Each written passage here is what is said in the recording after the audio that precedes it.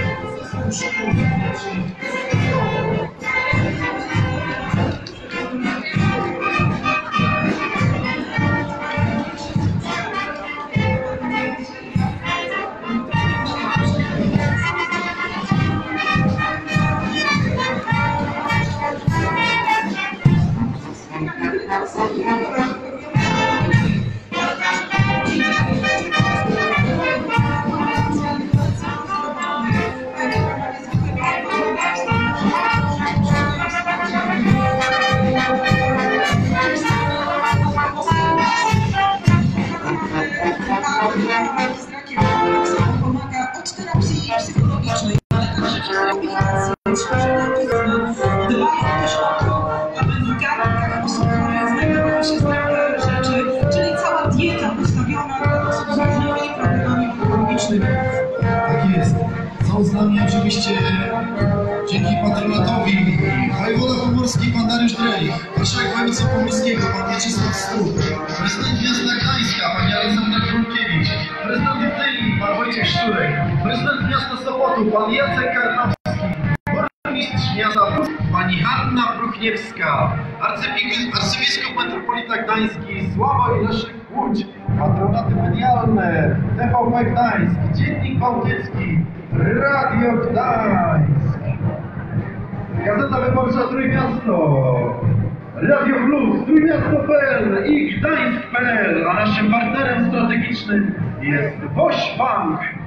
Bardzo serdecznie dziękujemy między innymi Pierogerii Mamadu, która wspiera nas lat, e, piekarni Cukier Nipelowski, e, Hard Rock Cafe, to w tych miejscach nasi wolontariusze dzisiaj mogli napić się ciepłej herbaty, odpocząć chwilę i złapać oddech, aby nabrać kolejnej energii na kolejne godziny, kochani, ponieważ my tutaj właściwie dwie godziny się udzielamy, a oni dzisiaj od wczesnych godzin porannych, kiedy jeszcze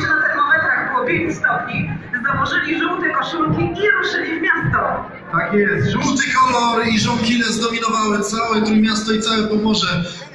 Przód, czoło pochodu naszej wspaniałej żonkilowej parady dociera do pomnika Króla Mórz Neptuna i na przedproże dworu Artusa, a tam już za chwilę Tomek Galiński, dziennikarz Radia Gdańsk, przejmie mikrofon i on już poprowadzi finał naszej wspaniałej żonkilowej parady.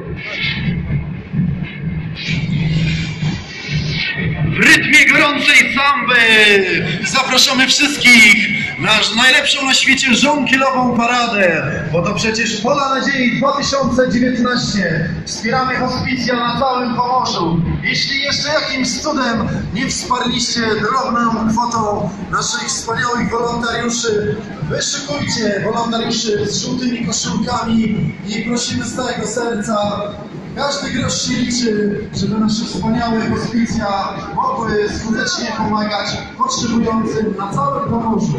A jeśli już wróciliście i macie trochę wolnego czasu, to czekamy też na Was jako wolontariuszy.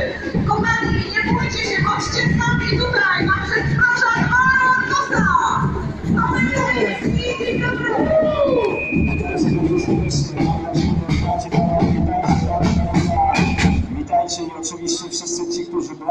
udział w tej kolorowej paradzie. Jesteśmy już tutaj gotowi, aby Was wszystkich przywitać. Drodzy Państwo, dajcie im wielkie brawa. Powitajmy tutaj na przedporożu Chworu Artusa. Powitajmy w okolicach fontanny Neptuna, tę kolorową, przede wszystkim w żółtych kolorach e, paradę żonkilową, która dotarła na przedporze. To jest wielki finał Nadziei. Dzisiaj świętujemy, dzisiaj podsumowujemy tę akcję na Pomorzu. E, Była sztafeta, która przyjechała, e, dotarła tutaj na e, w okolicy dworu Artusa, tutaj dotarła w serce miasta z Pucka, z Pucka do Sopotu, do Gdyni, z Gdyni do Sopotu, z Sopotu do Gdańska i wreszcie tutaj dotarli po to, żeby przekazać taką piękną, drodzy Państwo, flagę. Witamy bardzo serdecznie, witajcie, witajcie. Jesteśmy tutaj po to, żeby świętować. Tak więc za chwilę posłuchamy oczywiście tej znakomitej orkiestry, która towarzyszyła paradzie Orkiestra Morskiego Oddziału Straży Granicznej. Również będzie występ grupy perkusyjnej Karawan. Również zatańczą do nas Afrodance Mandalo, grupy bębnów Krucha Kike. No i oczywiście będzie okazja do tego, żeby posłuchać również tych, którzy współtworzą, którzy pracują, którzy na co dzień pomagają podopiecznym hospicjum. Bo przypomnę, że dzisiaj nie tylko ci, którzy na co dzień pracują w tych miejscach, ale przede wszystkim wolontariusze, którzy wspomagają, którzy są blisko tych najbardziej potrzebujących.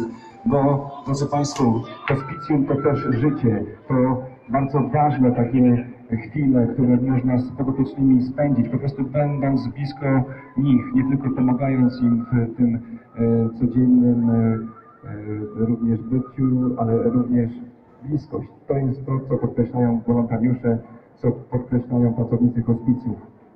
A zatem, jeśli już jesteśmy, to możemy rozpoczynać podsumowanie, to wielkie podsumowanie, fantastyczne, gorące podsumowanie akcji pomorskich Pól Nadziei, hospicja z Pomorza, nie tylko gdańskie hospicja, nie tylko z, to z, z, z Sopotu, z Gdyni, ale również z Pucka.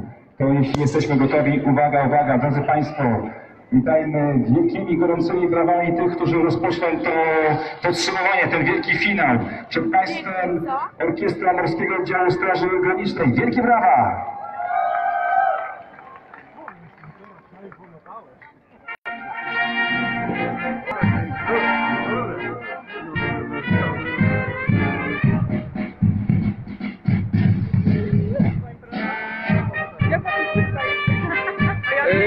Relaxa.